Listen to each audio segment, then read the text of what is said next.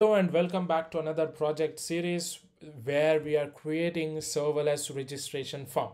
So this is the step three of this project where we are going to create the Lambda function.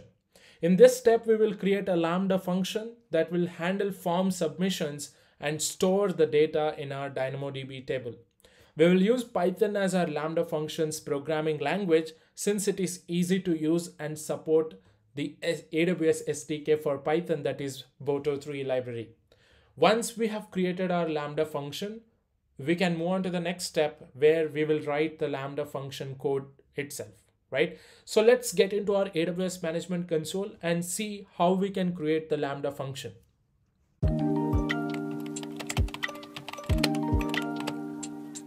So before going ahead and creating the Lambda function, a quick recap so we have created the DynamoDB table and we have also created an IAM role with the name form registration form role, right? So why am I saying this? Because that is needed while creating the Lambda function, right? So to create a Lambda function, log into your AWS management console and just search for Lambda and you will be landed into a page like this.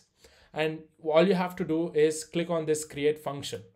I'll click on create function and here you need to select author from scratch right? Because we are going to write the function from scratch. So here i need to fill in some basic informations so such as function name. So you need to copy the function name here. If you want you can use your own name but i would like to keep things simple so i'm just going to copy from my github repository. So i'll paste the function name here. Runtime make sure to select Python 3.9, that is the latest version. Architecture, leave that as default. Permission, we have created an IAM role. Remember in the previous video, we need to attach that IAM role here to this Lambda function. So I'll just click on use an existing role. Here it will give you all the IAM roles that you have already created. So our role name was registration form role. So I'll select that. If that is not appearing, you can just type in. I will not touch the advanced settings. I'll keep everything else as default and next I'll click on create function.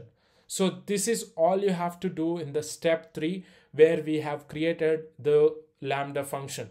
So in the next step, we will write the Lambda function code and see how we can test it, right? So if you're liking the content that I'm creating, please consider subscribing and share it among your friends. Thank you and I will see you in the next video.